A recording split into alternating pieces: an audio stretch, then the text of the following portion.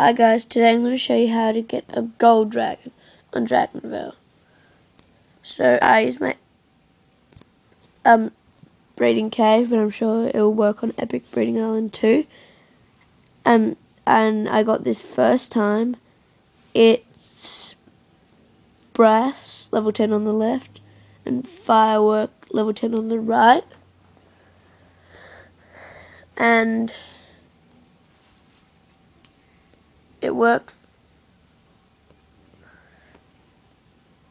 First time, there's my egg. It takes one day, 23 hours, 56 minutes, and four.